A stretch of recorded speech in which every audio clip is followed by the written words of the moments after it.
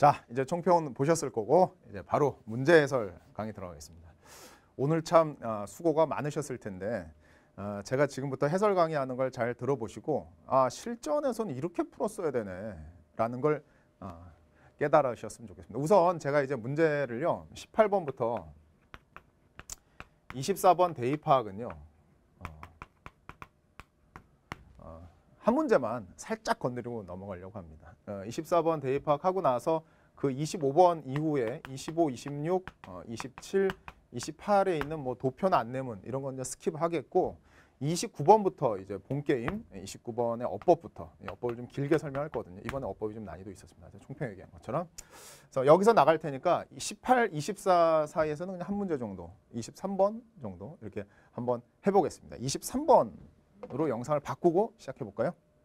네, 제가 이제 23번부터 하려고 하는데 어, 9월 평가원 오기 전에 제가 우리 사이트에 TCC를 하나 옮겼었어요.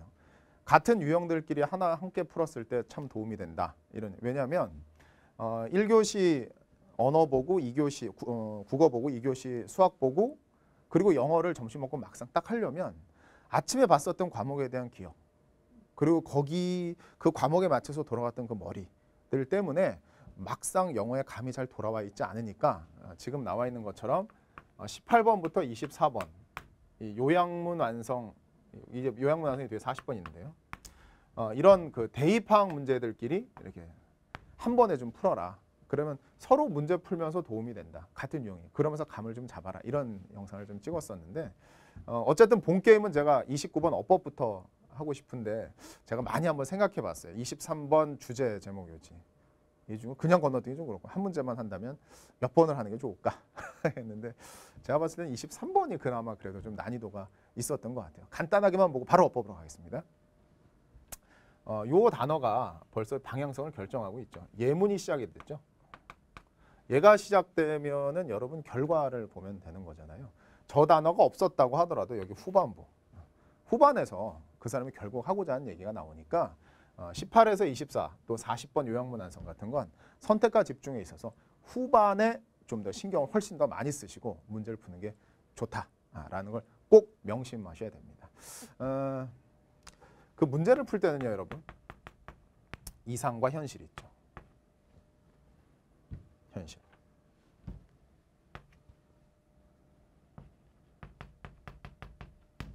이거에 맞춰서 이제 오늘 해설 강의를 할 건데 어, 시간이 아주 많이 있으면 어, 전부 다 모든 문장을 꼼꼼히 읽어서 어, 자신의 머릿속으로 충분히 생각하고 이렇게 문제를 푸는 게 가장 좋겠죠. 사실 이건 이제 고등학교 1학년 하고 2학년 어, 저학년일 때 이렇게 하면서 영어 본질적인 실력을 기르는 겁니다.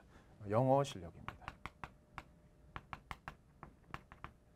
그건 고1, 2때 하는 거죠. 근데 고3하고 N수생 이제 재수생이 되거나 이랬을 때는 영어 실력이 좋다라는 이야기보다 점수를 높게 받는 게 중요한 거 아닙니까? 조금 현실적으로 말하자면 그게 우리의 현실이죠. 그리고 우리가 해야 되는 건 시간이 많지가 않고요. 제한된 시간 속에서 문제를 풀어야 되죠.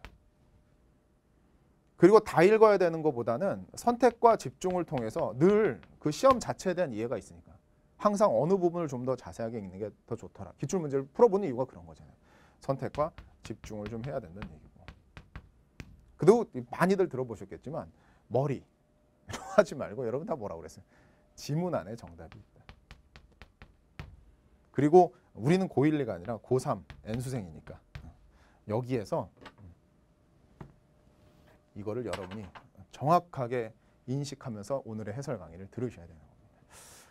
그런 측면에서 아주 간단하게 하고 넘어간다고 그랬는데 1950년대 부터 시작한 이 모든 얘기는요. 후반부에 있는 얘기 하려고 하는 거잖아요. 후반을 좀 면밀하게 읽어보라고요. 면밀하게 읽었을 때 읽었다고 했어요. 그러니까 여기서 여기를 읽어서 해설이 안 됐다고 해도 대범하게 넘어가요. 근데 여기서 보면 it also push 네가티브 노션을 만들어낸대요. female taste하고 female의 subjective에 대해서. 근데 바로 뒷문장도 그럼 네가티브 얘기할 겁니다. critic mass culture seem always 걔네들은 항상 bring to mind 뭘 가져다 주냐면 disrespectful image female 여성에 대해서 존경할 수 없는 이미지를 만든대요. represent depths of corruption of people. corruption. 그럼 바로 뒤에 있는 문장도 당연히 좋은 내용에서 안 네가티브 전 얘기겠죠. 이렇게 봤을 때 어, 정답은 이렇게 1번 어.